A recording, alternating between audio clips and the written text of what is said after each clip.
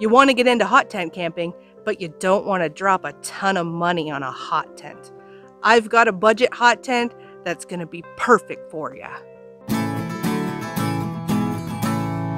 What's going on? It's Samantha from Lone Crow Adventures, the channel where we talk about all things camping, hiking, and backpacking. Today we're going to take a first look at the fire hiking hot tent. Now this is a budget hot tent that comes in as of the date of recording less than a hundred dollars. So it's definitely a budget friendly option that you might want to consider. So this is the fire hiking hot tent and this tent comes in at a weight of 3.48 pounds on my scale at home, although the manufacturer states that it's 3.5 pounds. Came in a little lighter on my scale. This is a traditional teepee style tent that is held up by the use of an aluminum pole in the center. Now when you first unpack your fire hiking hot tents, this is what you're gonna see. This is the main body of the tent here. So this tent is a single wall tent, meaning that there's no mesh inner and there's no rain fly. Just this one piece of fabric here, which constitutes the tent. The other contents of the tent include an aluminum center pole, as well as 13 stakes and six guy ropes. Now, the kind of fun thing about this tent is that it does come with this bonus backpacking pillow. This is an inflatable pillow, but this actually wasn't listed in the product description and comes as kind of a bonus with the hot tent. These are the stakes that come with the fire hiking hot tents. And I must say for the price, these are pretty decent stakes. Each one of them comes with a paracord loop attachment affixed right to them. And they're made out of aluminum. And you'll notice they have a nice triangular design almost with a spiral type tip here so that it's gonna go in the ground and it's gonna stay there against the wind. The fire hiking hot tent is made out of some pretty premium fabrics for a budget hot tent.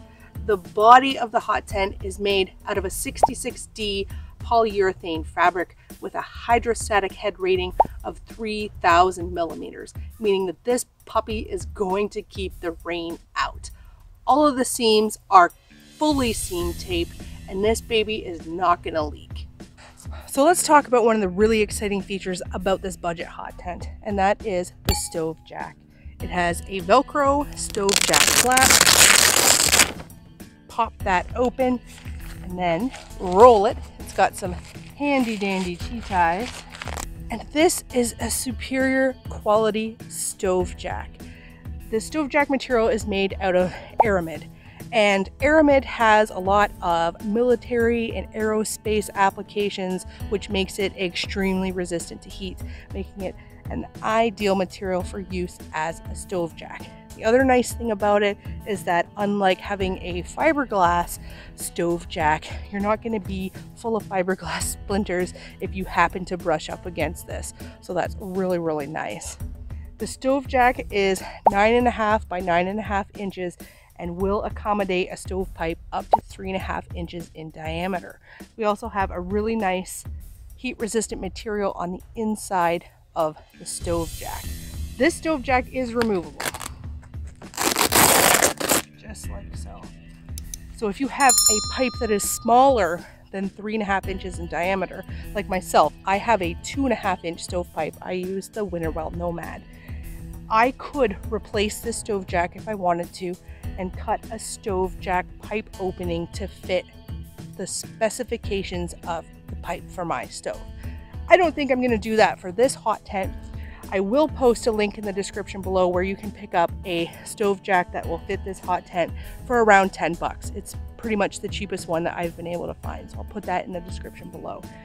But generally, unless you're getting like a torrential downpour, having a little bit of space around the stove jack opening isn't a big deal because even if a little bit of water drips down or a little bit of rain comes in, you have your hot tent stove running, it's gonna just dry it up anyways. So I'm not really too worried about it, but for those of you who are, just know that there is a $10 workaround for this if you do happen to have a smaller stovepipe opening. So just like with any teepee tent, you're gonna wanna stake this out before you attempt to put the center pole in.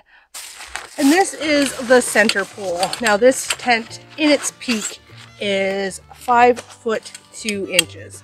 So don't expect to stand up inside of it. but this pole snaps together super, super easy with these shock corded sections that just pop in really easy.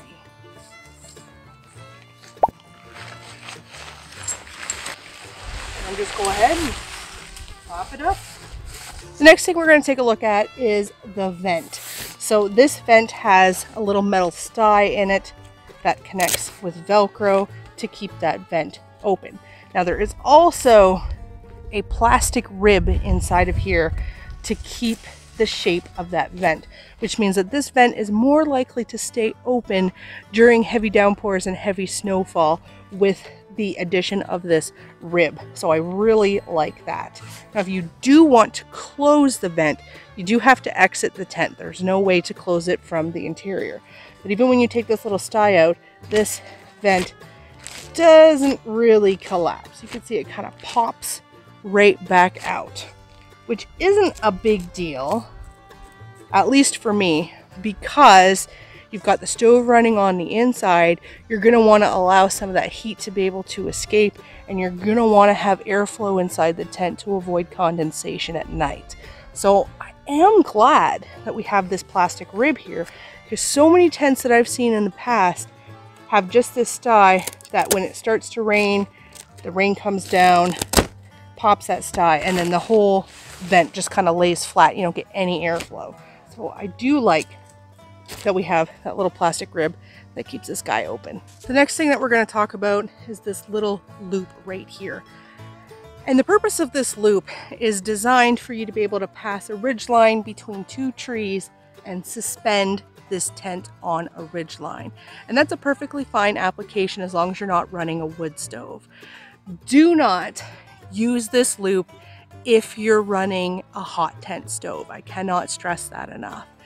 If your ridge line happens to break or if the sewing on this loop happens to fail, your entire tent is going to come crashing down on top of you and you could be burned alive. These ridge lines on these teepee tents are only designed to be used without the hot tent stove. So if you're not using the stove, use the ridgeline to your heart's content. But if you are using the stove, go ahead and just bring along that aluminum pole and pop that guy up for some extra support because you don't want to take any risks when you're out there. Let's go inside this thing and check it out. I've heard that there's seam tape. All of these seams are completely seam taped. All the connectors. And even up at the very top, we've got seam tape up there. That's the little vent at the top of the peak. You can see the center pole there. And that is the vent. And that's about the only ventilation in this tent. You do have some ventilation around the bottom of the tent. But if you were getting some wind, you could always pile some snow around the bottom of that tent. Otherwise, that works great as ventilation in those shoulder seasons. So let's talk about the stove jack placement in this tent. There's a couple things I really like about it and one big thing that I don't like about it.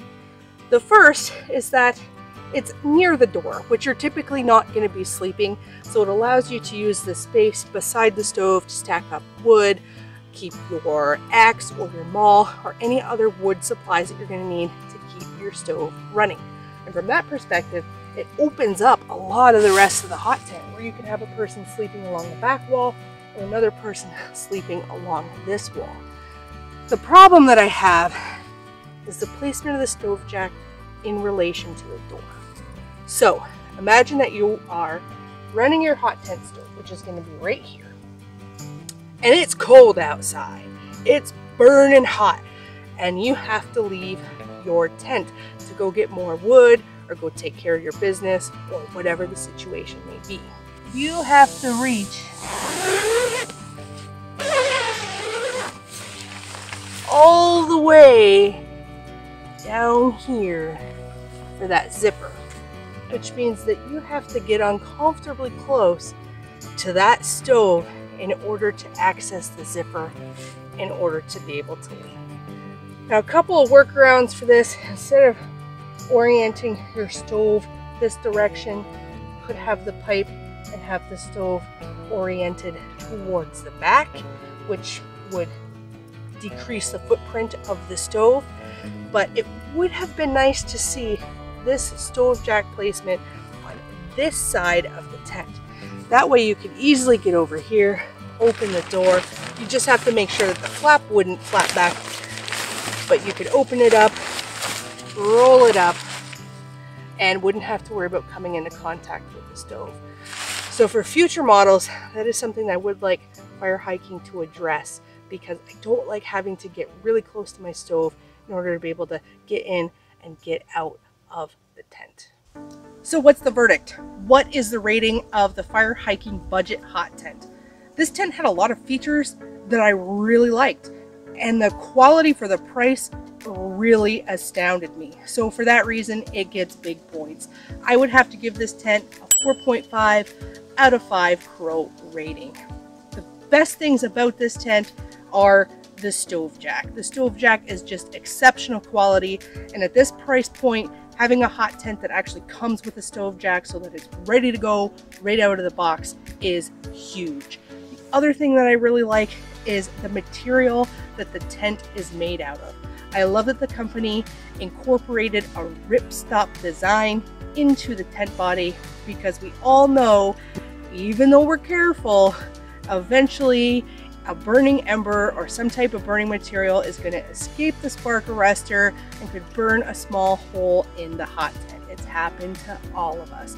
So it's nice to know with a ripstop material that that hole is not going to spread throughout the trip before you get home and have a chance to patch it. So that really gives me peace of mind.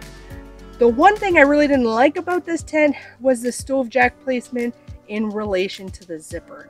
I'm just not wild about having to get that close to the stove to crawl in and out of the tent. Like I said before, I wish they would have put the stove jack on the other side of the door, but that's a small detail and entering and exiting the tent can be done safely. You just have to pay mind to the stove and just be careful. But I think it's a great budget hot tent, especially if you're just looking to getting into hot tenting for the first time you don't want to drop a ton of money. This tent's great at the time of filming, 83 bucks and change. This tent is ready to go.